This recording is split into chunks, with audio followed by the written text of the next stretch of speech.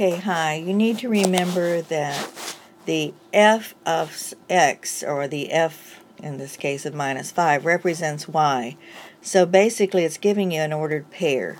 0 is the value of the y term, and the minus 5 is the value of the x term. So there's a point.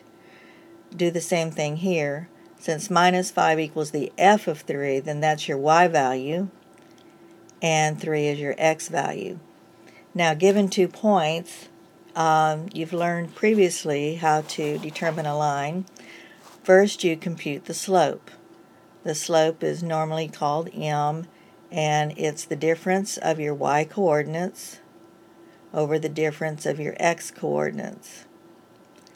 So, doesn't matter which one we call x1, y1, and which one we call x2, y2. Just remember, start with the same one each time.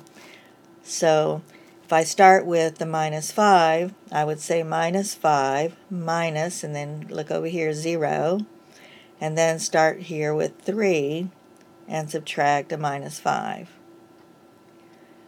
So minus 5 minus 0 is still minus 5. And 3 minus a minus 5 would be 3 plus 5, or 8. So my slope is minus 5 eighths. The easiest way to get the equation of the line is to use the uh, point slope formula. That means that you take a point and you take the slope and you plug it into this formula.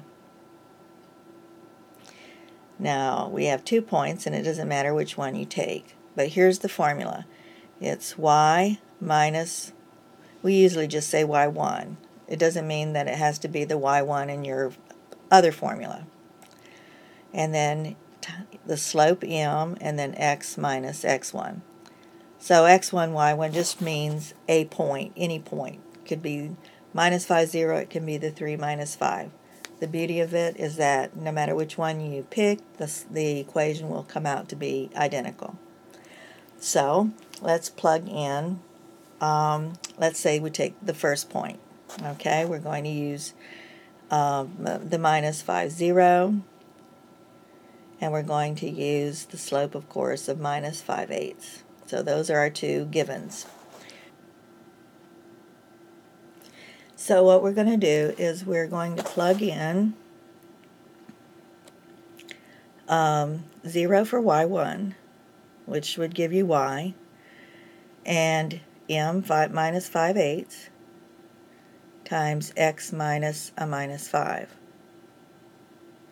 And then just simplify by distributing. So we get y is equal to minus 5 eighths x. And you have minus, minus, minus, three minuses. Uh, those would be a plus.